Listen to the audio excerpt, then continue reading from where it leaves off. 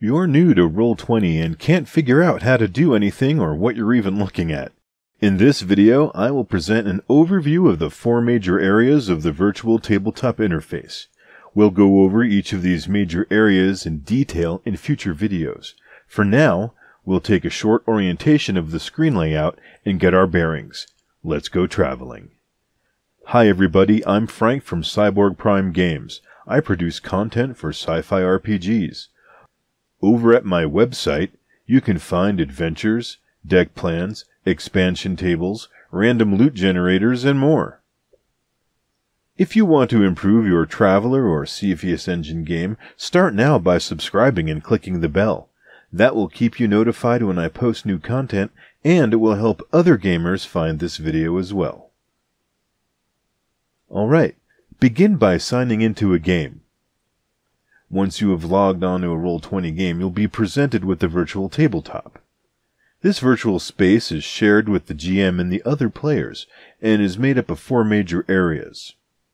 The tabletop, the tabletop toolbox, the page toolbar that's only visible to GMs, the sidebar tabs.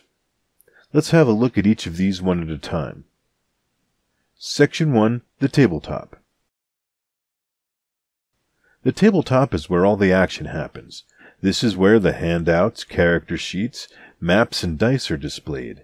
This area allows the placement and control of miniatures or tokens, and also displays any playing cards the player is holding.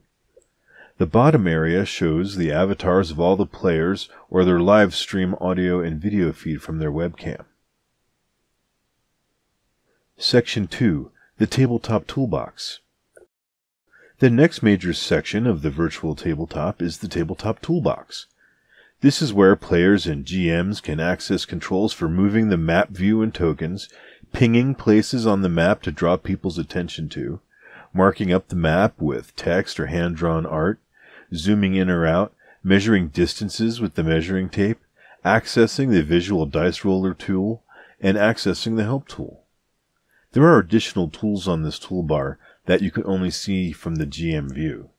These tools include the map layer and dynamic lighting controls, the visual effects controls, the fog of war, and the turn tracker controls. Section 3 The Page Toolbar. You have access to the Page Toolbar only from the GM view.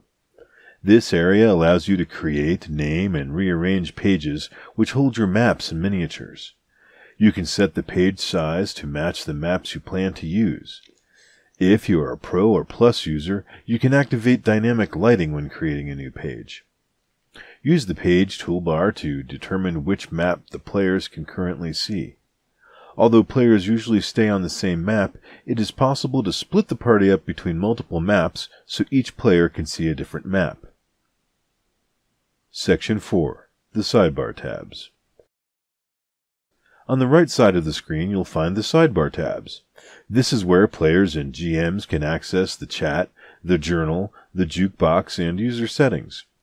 If you're signed in as the GM, you will also see an Art Assets tab where you can bring in new maps, tokens, and other assets.